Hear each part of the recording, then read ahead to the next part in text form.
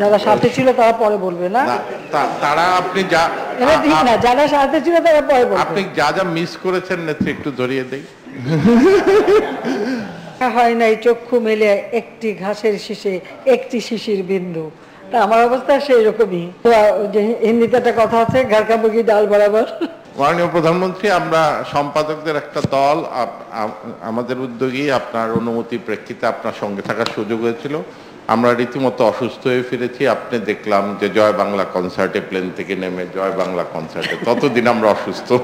So এই হবগুলি আপনি শুধু অফিসিয়াল প্রোগ্রামগুলি বলেছেন, বহু লোক আপনার সাথে দেখা করতে এসেছে, আরও বহু অনুষ্ঠান ঘটেছে।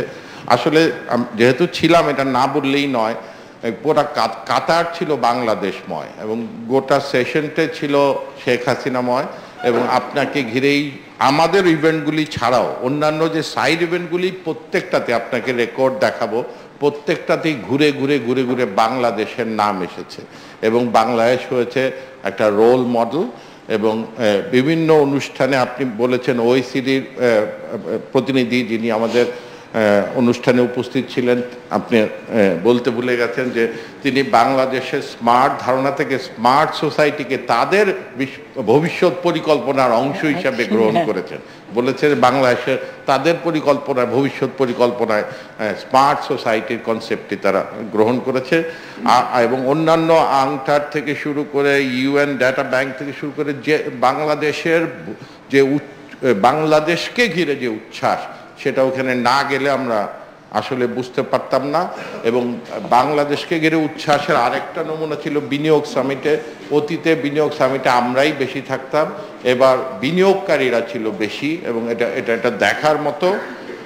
এবং আহ, আরেকটা ঘটনা নেত্রী আপনি করেছেন যেটা আপনি যে জন্য আপনাকে অভিনন্দন জানাই যে আল জাজিরার সম্পাদকীয় নীতি লিবারাল অসাম্প্রদায়িক সরকারগুলির পক্ষে নয়। তারা ক্রিটিক্যাল তারপরেও আপনি তাদেরকে সংবা- সংবাদপত্রের স্বাধীনতা এবং গণমাধ্যমের সম্পাদকীয় স্বাধীনতার প্রতি শ্রদ্ধা রেখে তাদেরকে ইন্টারভিউ দিয়েছেন। তারা অনেক কটা ক্রিটিক্যাল প্রস্তুত করেছে, তার সমীচীন জবাব আপনি দিয়েছেন।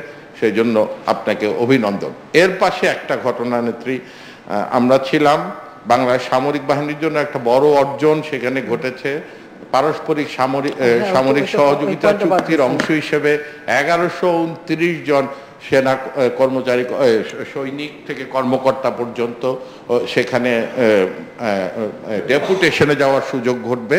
এটা যদি তুলনামূলক আলোচনা করি এরকম বিষয়টা মাননীয় প্রধানমন্ত্রী যে ইউএনএ আমাদের প্রায় ছয় সাত হাজার সামরিক প্রেজেন্স আছে।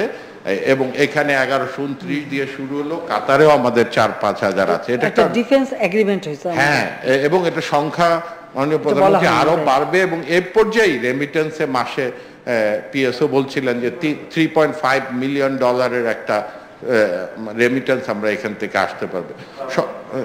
পার মান্থ সর্বোপরি মাননীয় প্রধানমন্ত্রী যে আপনাকে এলডিসি সম্মেলন থেকে এটা আসলে বাংলাদেশের উপলক্ষে একটা ফেয়ারওয়েল পার্টির মতো ছিল।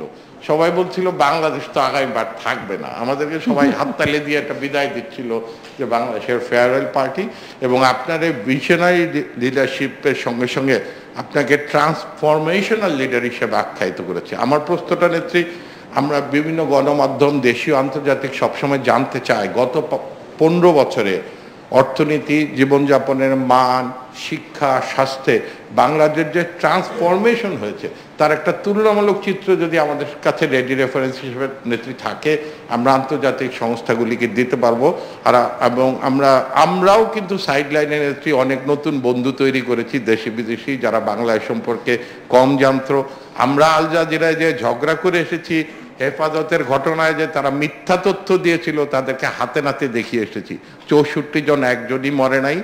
ফরজানের উপর সমীকরণ তাদেরকে দেখিয়েছি। প্রত্যেকের বাড়ি বাড়ি যে এবং রানা প্লাজার কবরস্থানকে তারা হেফাজতের কবরস্থান বানিয়েছিল এবং তারা মোটামুটি লজ্জাই পেয়েছে এ ধরনের সাংবাদিকতার জন্য। আপ- আপনার কাছে যদি আমাদের উন্নয়নের একটা চিত্র যদি পেতে পারতাম, মাননীয় প্রধানমন্ত্রী, আপনাকে অসংখ্য ধন্যবাদ। একটা একটা তুলনামূলক এ আজকে আমি তৈরি করেছিলাম যে দু হাজার ছয় কি ছিল আর এখন আমরা কতটুকু কি করতে হয়েছে অল্প কিছু বিষয়। এটা এটা দেয়নি সবাইকে?